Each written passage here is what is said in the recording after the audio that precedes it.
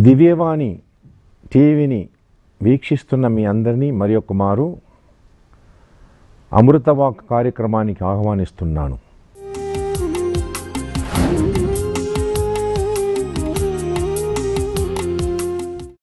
Bible గ్రంథంలో యోహాను స్వార్థ ఎనిమిదవ అధ్యాయంలో ఒక సంఘటన గురించి మనం విని ఉన్నాము దాన్ని ఒకసారి మళ్ళా మీకు చదివి వినిపిస్తాను. తెల్లవారాగనే యేసు దేవాలయమునకు రాగా ప్రజలు ఆయన యొద్దకు వచ్చిరి.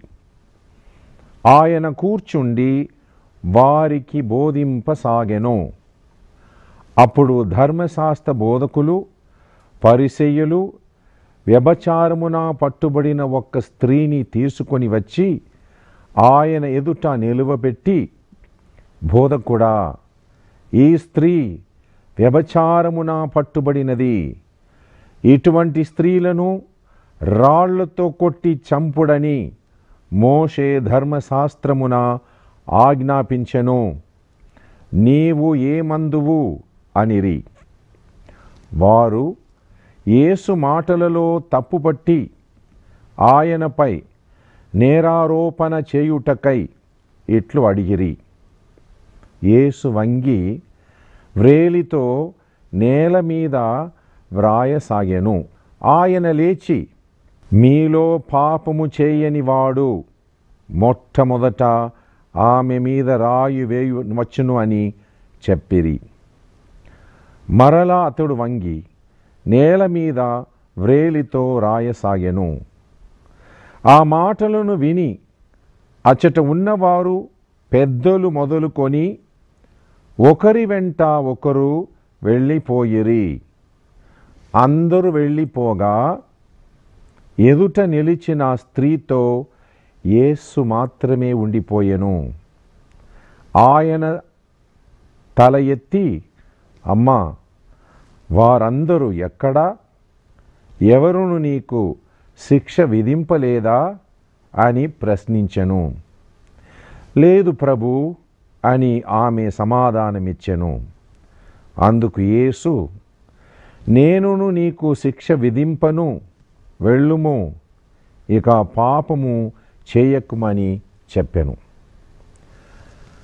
ధర్మశాస్త్ర బోధకులు పరిసేయులు వీరెవరంటే యేసుప్రభు కాలంలో మోసే చట్టమును బాగా తెలుసుకొని పాండిత్యం పొందినవారు ధర్మశాస్త్ర బోధకులు.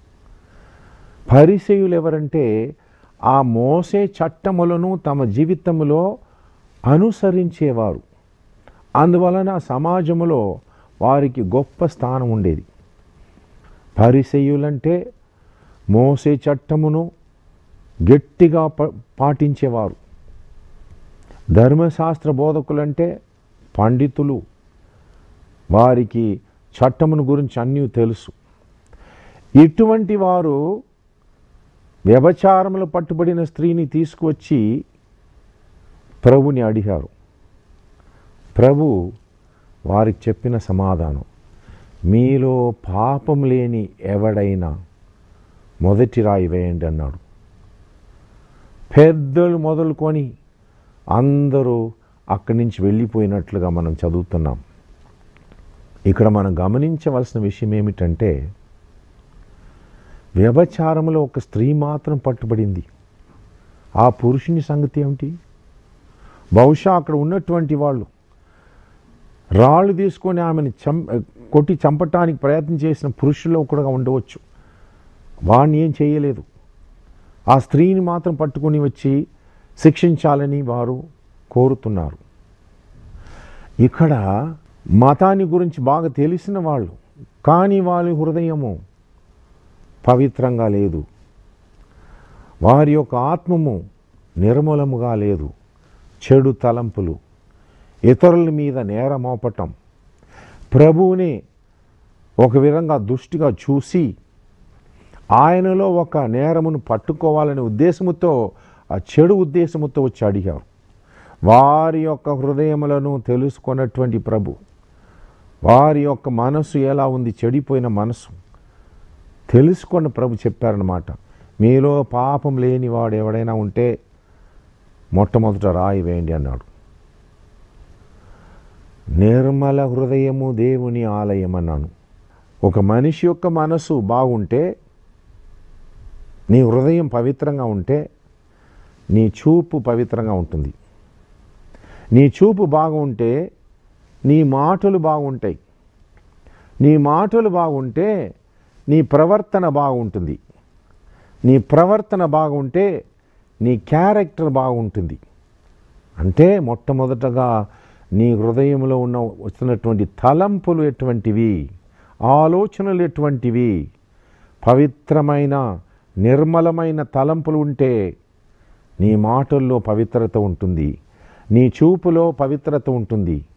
నీ క్రియలో నీ జీవితంలో నీ క్యారెక్టర్లో ఆ పవిత్రం ఉంటుందని మనం తెలుసుకోవాలి. కానీ మనం మనుషులు కాబట్టి నిర్మలంగా ఉండటానికి వీలు లేదు. ఎందుకంటే మన చుట్టూ ఎప్పుడు చెడును చూస్తున్నాం. పాపం నిండి ఉన్నది. అయినప్పటికీ దేవుడు అంటున్నాడన్నమాట. నన్ను నిర్మల హృదయంతో వెదికి వారికి నేను కనిపిస్తాను. ఏ ఒక్క మనిషి హృదయంలో మంచి ఉద్దేశం మంచి తలంపు మంచి ఆలోచనలు ఉన్నాయో అతనికి నేను కనిపిస్తానని ప్రభు అంటున్నాడు. కనుక నిర్మలమైన హృదయము ఆ దేవుడు నివసించే ఆలయము. ఈ ఆలయాన్ని మనం భద్రపరచుకోవాలి. నీ హృదయం అనేటువంటి ఆలయమును భద్రపరచుకొని పవిత్రంగా ఉంచినట్లయితే ఈ లోకంలో నీవు మదర్ తెరేజా వలె జీవించవచ్చు. మదర్ తెరీసా పుట్టినప్పుడే ఒక పుణ్య స్త్రీగా పుట్టలేదు. కానీ ఆమెకు దేవుడిచ్చినటువంటి అవకాశాన్ని సద్వినియం చేసుకొని తన జీవితం అంతా ఆ దేవుడి కోసం అంకితం చేసి బాధలో కష్టములు ఉన్నటువంటి తోటి మనిషిని చూసి ఆ తోటి వాళ్ళకు సేవ చేసినప్పుడే నా దేవునికి సేవ చేస్తున్నా అని చెప్పి ఆ ఉద్దేశంతో జీవితాన్ని అంకితం చేసింది. ఇటువంటి పుణ్య పురుషులు స్త్రీలు ఈ లోకంలో ఉన్నంత వలననే ఈ లోకం ఇంకా మంచిదిగా బ్రతుకుతుంది. కనుక మనం ఏ పరిస్థితిలో ఉన్నా సరే ఎక్కడ ఉన్నా సరే ఏ మతమునకు చెందిన వారైనా సరే ఏ కులమునకు చెందిన వారైనా సరే మన హృదయము పవిత్రంగా ఉంటే ఆ దేవుని యొక్క దృష్టిలో మన ఆత్మ నిర్మలంగా ఉంటే ఆ దేవుడు మనకు కనిపిస్తాడు. ఆ దేవుని చుట్టూ కూడా మనం దేవుని చూడవచ్చు. కనుక మానవులైన మనము ఆ దేవుడుగా మారాలంటే దేవుడు మనకిస్తున్నటువంటి అనుగ్రహములు ఆశీర్వాదములను సద్వినియోగం చేసుకోవాలి. ఒక మనిషి చెడిపోవటానికి వెయ్యి మార్గాలు ఉన్నాయి. ఒక మనిషి ఒక క్షణంలో చెడిపోవచ్చు. కానీ అతడు ఒక మంచి మనిషిగా ఒక పుణ్య పురుషుడుగా మారాలంటే అది చాలా కాల పడు చాలా కాలం అవుతుంది చాలా కష్టం అవుతుంది అయినప్పటికీ ప్రయత్నం చేసి నేను మంచి మనిషిగా జీవిస్తాను. ఇతరులకు నేను ఒక మార్గదర్శిగా ఉంటానని నిర్ణయంతో తల్లిదండ్రులు ఉంటే తల్లిదండ్రులను చూసి పిల్లలు కూడా ఆ దేవుడు ఉన్నాడని అనుకుంటారు.